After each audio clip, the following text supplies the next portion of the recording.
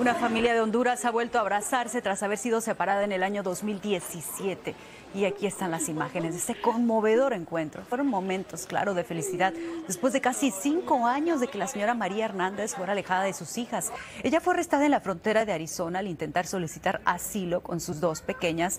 Al ser deportada le dieron la opción de dejar a las niñas o llevárselas. Ella decidió que se quedaran en California con un hermano mayor de edad y ahora madre e hijas vuelven a estar juntas después de que la señora María pudiera regresar de manera legal.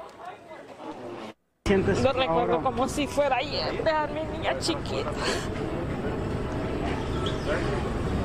Lo recuerdo como si fue ayer verla sufrir a ellas, como lloraban por mí cuando me separaron. Pero Dios sabe cómo sufrí y ahora me, me encuentro feliz. Me encuentro feliz.